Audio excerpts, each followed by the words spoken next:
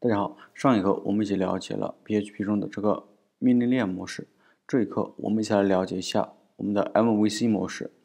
好，下面我们开始。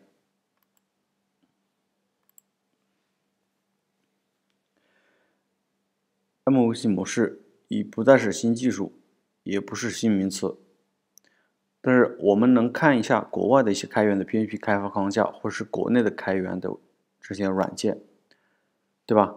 我们就经常能见到所谓的 MVC。MVC 三个字母的含义大家也都很清楚。M 表示这个 model，负责数据库的操作，对吧？V 表示 view，是视图，负责 model 调用 model 调取的这些数据，再使用模板展示出最终的效果。而 C 就是我们的 controller 层，它是程序的入口，决定该调用哪个 view。并告诉这个视图该做什么，而我们的这个 MVC 它有些优点，优点就是第一个，它是分工明确的，对吧？我们把数据库相关的一些操作以及业务逻辑和页面展示分开了，并且第二个，它是松耦合的。我们如果不懂得这个设计模式，根本不知道松耦合可能是什么意思。但是我们。会把这个模块部分分为数据库抽象层、数据操作层和业务逻辑层。而我们的这个数据库抽象层一般会支持多种数据库，这样做的目的是可以让我们的应用程序快速的更换数据库，也方便我们的应用与其他类型数据库交互。同时，更强大的，我们可能还会有链接管理器，从而对大型网站的分库操作、分表操作的支持。数据库抽象层可以通过向导生成静态的这个 ORM 层，或者是提供动态的 ORM 层。但是我们视图部分实际也是一样的，因为本来是给 PC 浏览器用的，如果哪一天要用上手机页面，我们只要添加就可以了，其他的都可以共用，对吧？这就是它一个松耦合，然后我们可以达到一个共享与集中的这个处理。在我们的这个控制器里面，它是一个完全将流程按面向对象这个方式的设计的。第四个优点就是我们的这个 MVC 程序啊，它是一个完全的这个面向对象，多数只有一个客户端请求入口，应用往往基于这个文件进行配置或者是修改，其他的全部都是 class。我们详细讲一下这个。它的一个作用啊，这个 M 它是模型，对吧？它是业务逻辑数据的集合，数据库操作、复杂的逻辑运算都在这个 M 层。按照功能，我们可以一个一个的把项目模块分成一个一个模型，模型间的耦合性减小，这样的话有利于项目以后的扩展和修养，对吧？而我们这个 C 就是我们的控制器。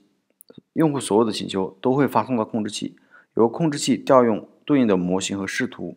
例如，假如我们请求这个 index 点 php，对吧？那其实 index 点 php 里面它不会涉及到任何的数据库操作和逻辑操作，它只会找到的对应的就可能是找到我们对应的这个 controller，可能是 index controller，对吧？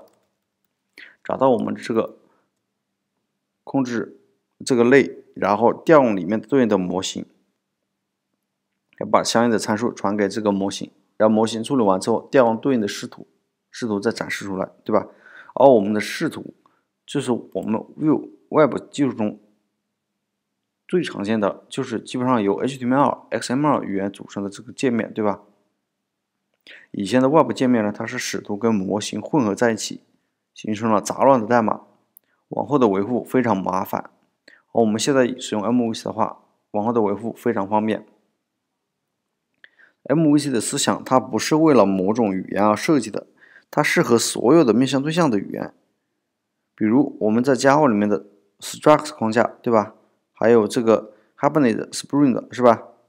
而我们在 PHP 里面的这个开源出来的框架就更多了，例如我们的 Zend Framework、SyncPHP、CakePHP、CI，对吧？它都是很好的实现 MVC 的思想了，并且他们使用了大量的 GOF 设计模式。开发人员如果基于我们这些框架来做项目开发的话，开发效率和代码质量都会大幅度提升的，很适合多人协作开发的这个项目。好，我们来看一下这个 MVC 的这个定义图。好，我们打开，来，我们首先看第一个，就是我们的一个请求过来，它会根据这个路径映射到我们的这个控制器文件。我们的控制器文件呢，就会调用我们这个 model，调用到我们的 model 获取一些数据，对吧？获取到一些数据之后，再调用我们的这个视图做成渲染。所以，其实在这个视图里面，调用的数据来源就是这个 model 的。然后，这个就是大体的一个流程。然后，在我们这个理想理想的这个 MVC 环境中，通讯应该是这样的。你看。就是请求过来，我们调用 model，对吧？然后 model 调用完之后，我们再调用视图展示。视图里面可能它会有一些数据，都是从 model 里面获取，对吧？然后在渲染视图里，视图里面就渲染模型里面的数据做一层展示，然后就 HTTP 返回。这是一个理想的这个 MVC 的环境，对吧？我们讲了这么多，来我们看一个示例，就是我们这个。左边的这个项目啊，这个项目我们使用的是 Y 这个开源框架，我们可以很明显的看到它的控制器，对吧？然后我们再看它的 model，看分层非常明明显，这是它的 model，然后它的视图 view，而我这视图里面呢，我因为我自己采用了自定义的这个 view，所以我扩展一下，这是我的，比如在这里。默认它是在这里的啊，默认它是使用这个 views 目录的。我给这个应用重新定义了一套皮肤，所以我就在这里装进了一个，看非常明显，对吧？项目管理起来非非常简单，而我们分块也很简单。假如我就写这个控制器，你就写这个，对吧？然后我们各自写各自的 model，并且我们还有各自的这个视图，视图都对应的一个目录的，对吧？所以这样的话，我们分工操作非常明确。也有利于我们的协作。好，这一课我就讲这里了。